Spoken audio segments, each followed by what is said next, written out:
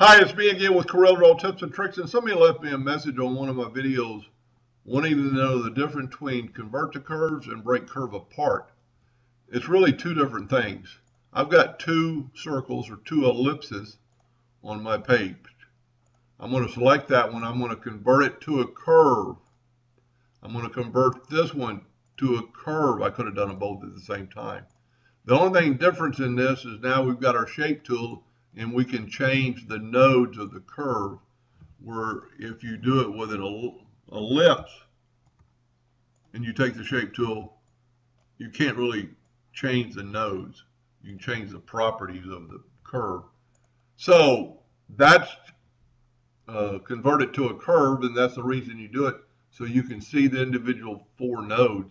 Know, like we could delete that node and change the structure of the of the uh, item a little bit or bring this one down.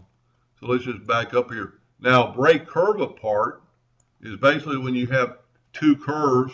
I've got two objects selected on layer one and I'm going to go to arrange. And I'm going to combine it.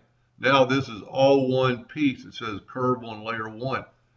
So break curve apart, which is control K, which also works for text and everything else, just puts you back to where you were. It's kind of like group in a way. We could take the same thing and arrange and group. And now these are one item, but we could also ungroup them. Combine's a little bit different sometimes. Uh, well, let's just back up here until I get two, two ellipses. Well, let's just do it with one. Let's smart fill this side in. And now, well, I need to get some ellipses. I need to break these apart. So we've got two ellipses now. I've got a curve, but it doesn't really matter. I'm going to smart fill the center.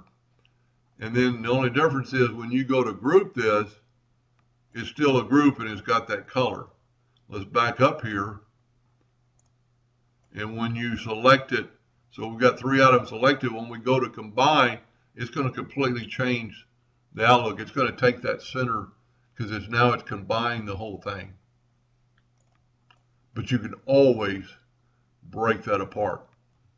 But just by going and break curve apart. Curve doesn't really have to do too much about that you can manipulate it. Well, it does. That's a curve, but break the curve apart is completely different. Anyway, I hope that answered their question. Thank you for watching.